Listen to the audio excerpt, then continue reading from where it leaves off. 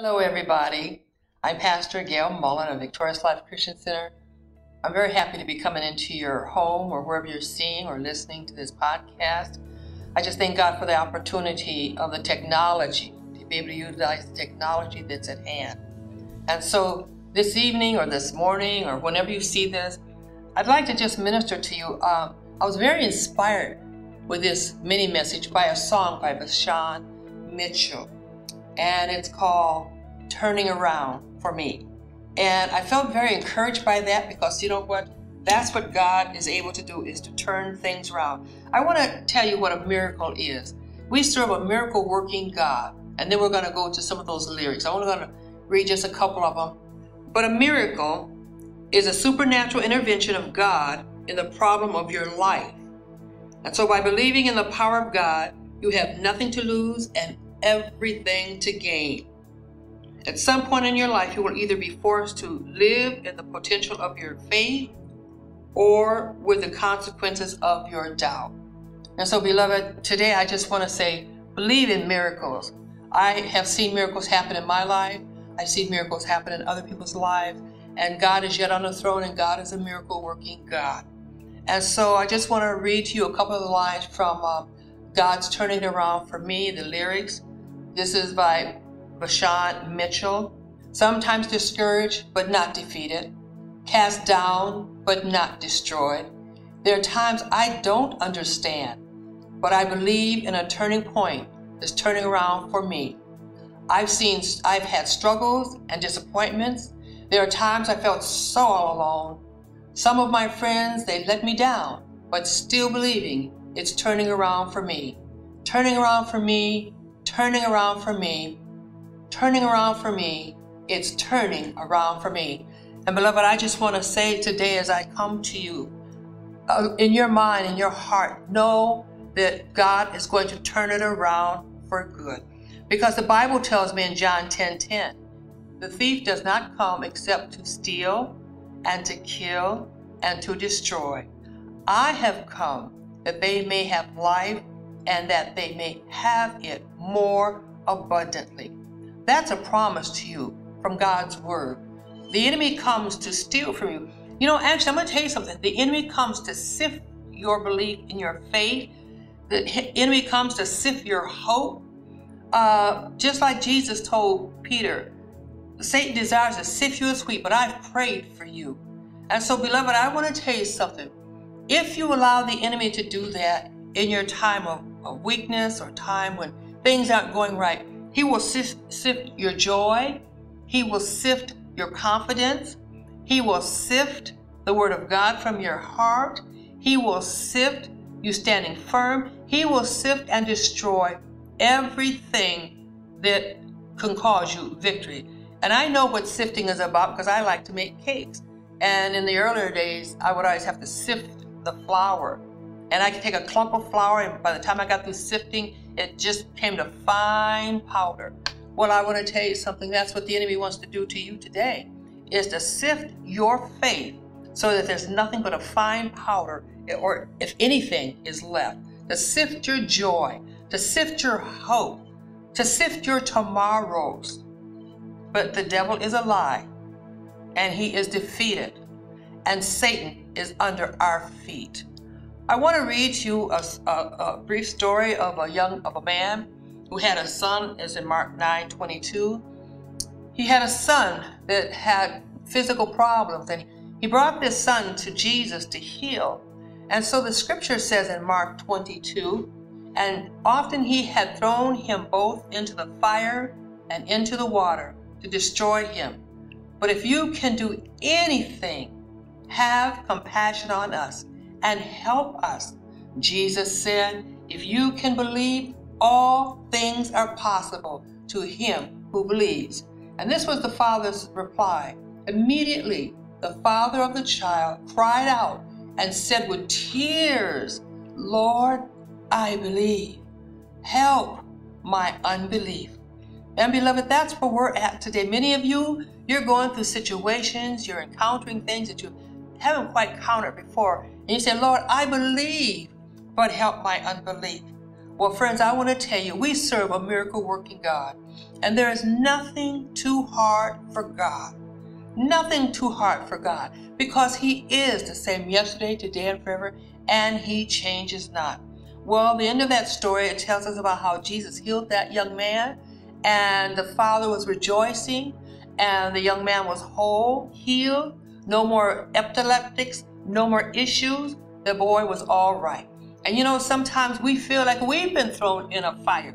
Situations kind of seem heated sometimes. But don't be dismayed by what you see. You know, I'm reminded in chapter 3 of Daniel about the three Hebrew boys Shadrach, Meshach, and Abednego.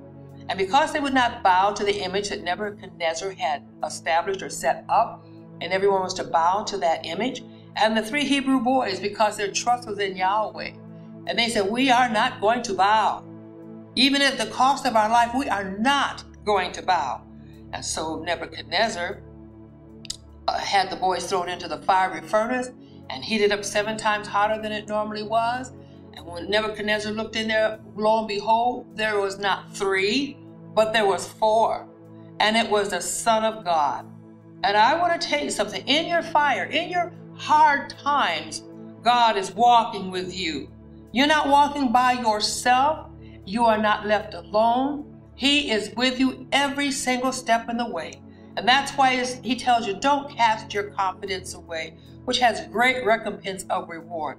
But believe and stand and know that you serve a miracle working God.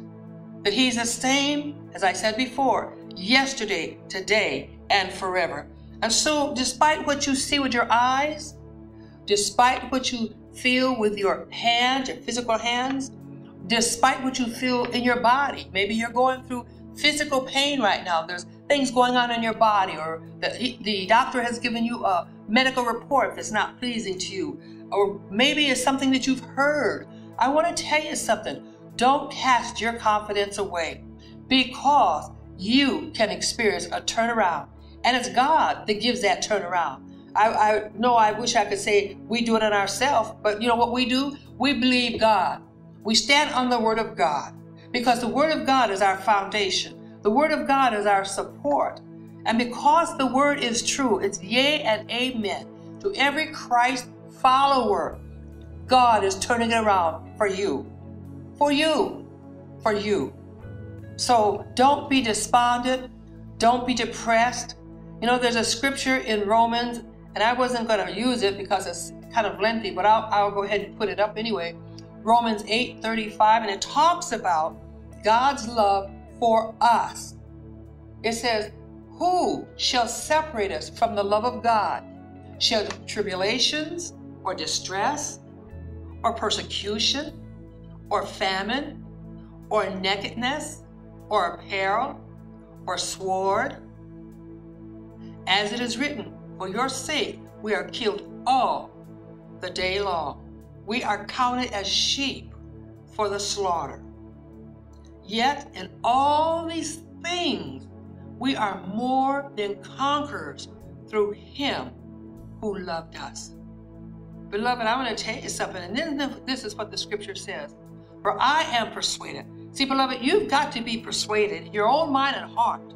For I am persuaded that neither death, nor life, nor angels, nor principalities, nor powers, nor things present, nor things to come, nor height, nor depth, nor any other created thing shall be able, let me read that again, shall be able to separate us from the love of God, which is in Christ Jesus our Lord.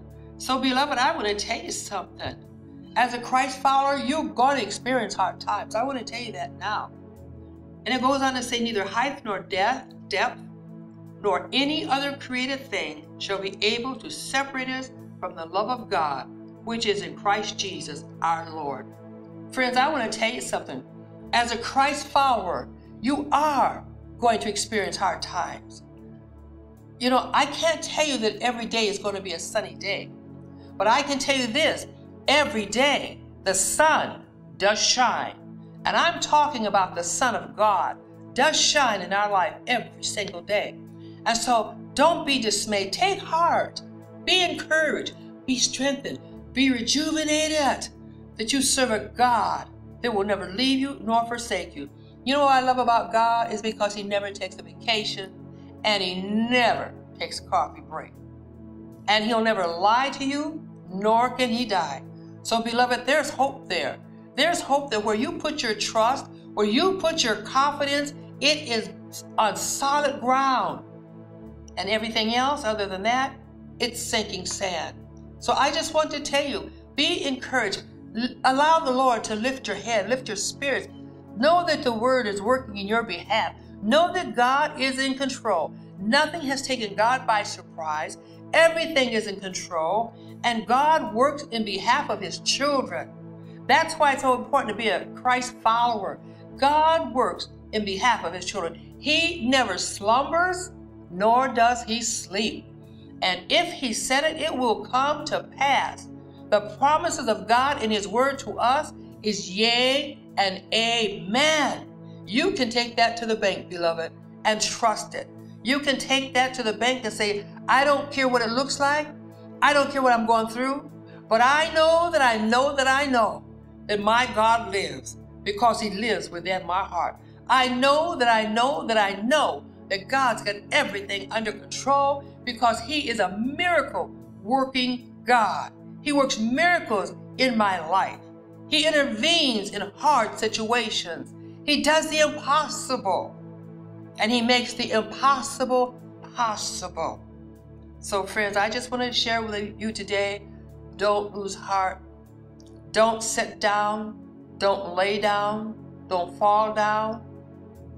Listen, trust God and all of your ways. Acknowledge Him and He will direct your path. So God bless you, and we love you here at Victorious Life Christian Center. And I'd like to say that on July 12th, we will be opening our doors for our 11 o'clock service, and we invite you to join us.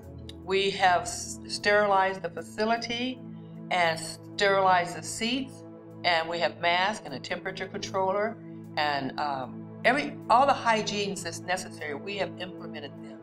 And so if you would like to visit us, you are visiting a safe environment. Our address is 212 Southwest 41st Street, Renton, Washington, 98057. And we are in a business complex and we are building 11. And to give you an even greater uh, idea of where we're located, we are located between IKEA and Highway 167. IKEA and 167. So that's where our, our complex is located that we're in. I want to make a correction here. Our address is 241 Southwest 41st Street, Renton, Washington, 98057. And so we invite you to join us and uh, God bless you. It's a joy coming to you today. It's been a joy coming to you every Sunday and I will be continuing. And so until we meet again, in all of your ways acknowledge Him, and He shall, not maybe, but He shall direct your path. Blessings to you.